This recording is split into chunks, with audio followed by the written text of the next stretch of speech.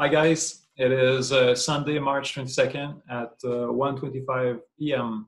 Um, this uh, tutorial shows how to create contours um, on uh, GeoScience uh, objects, either grid, points, curves, or surfaces.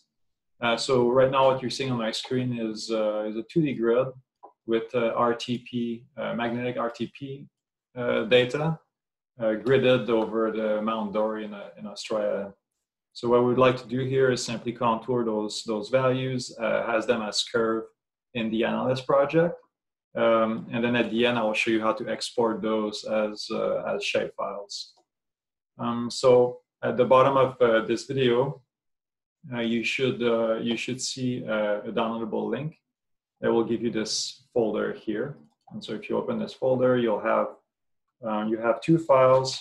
Um, one of them is for installation. So if you've never run any of the tutorials, uh, this will take you through, um, this will download and install all the uh, open source packages that you need. And then we'll go inside the, uh, the next one uh, after. Uh, so to start, uh, you will need, again, Anaconda to be installed on your, on your system. So if you use the Windows button, you can start the Anaconda prompt like this and I'll just navigate to uh, this folder. Okay, so now, now that I'm here, um, if you, if actually you, uh, you should probably update if you have not done it in a while, so you can just uh, simply uh, run the batch file uh, within this command prompt, and this will update everything that you need. I've already done it, so I'm not going to uh, proceed with that one. I'm simply going to move inside the tutorial folder here. So tutorial and inside here, we have our list of uh, tutorials for the Python API, and we'll use five and, and then six uh, on, in this video.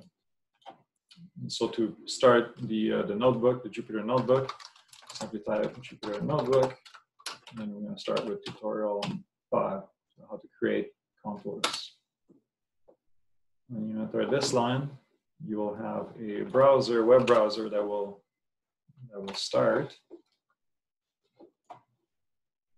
like this. I'm just going to put side by side. So here I have my analyst project on the right, and I have uh, my notebook on the left. So all you need to do to be able to connect um, the Python API to the project is simply run uh, this cell here. And for those of you who are new to, um, to notebooks, you can either run cell with the run button here or simply shift enter. So this what uh, what this will do is connect to the uh, connect to, to what's in the camera right now, and you'll be able to select any of the objects. Uh, currently, we only have one, so we only have the TMI grid here. Uh, but we this TMI grid has two data, it has TMI and, and RTP. Uh, then this line here will allow you to draw any contours that you that you like. So there are two ways to, three ways to do this. Either key in exactly the contour that you that you want to see. So example here is 150 nanotesla. Or you can uh, in, uh, include intervals. So let's say you want to do uh, from the contour 120 every 20 up to 200, and this will draw uh, this interval from 120 to 200 every 20. And you can add as many as you as you like. Since we do a 150, 50 to 6,000. So now we have fully contoured grid. And in order to export those to Analyst, simply click on the on the button export to GA. And now what I can do is refresh my project and now those contours exist as curves inside my, my project. Now there's a second option here is to assign Z values.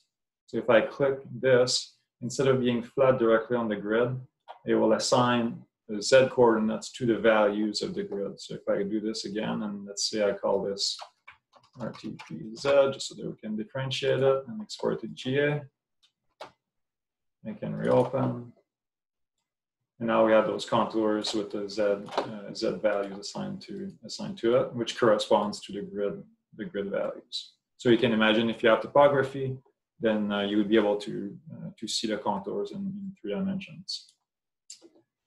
So that that's done. So now um, some of them might be interested in uh, extracting, taking those curves and uh, taking them outside uh, into, let's say, Arc, ArcGIS.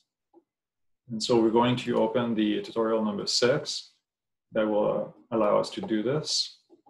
So here, tutorial number six, same thing, shift enter to run a cell.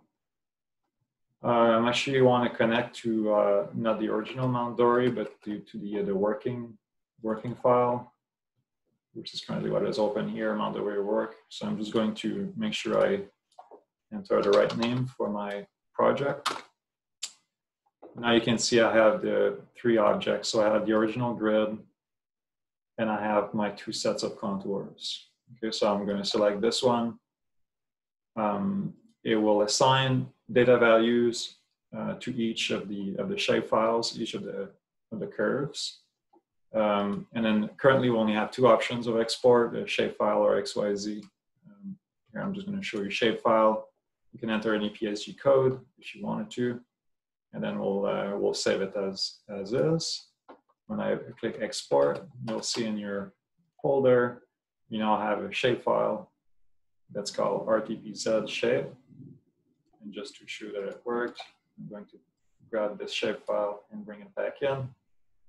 And now we have an Esri import. It's again the same same contours. Um, it's back to a zero at a zero elevation because uh, Esri shapefiles don't support uh, Z channels, but uh, at least you, you would be able to load this into your favorite uh, GIS software and, and, and, work around the contours. So hopefully that was helpful. Um, if you, again, if you have comments or suggestions, uh, don't hesitate to contact us. Uh, my email will be at the bottom of this, of this video.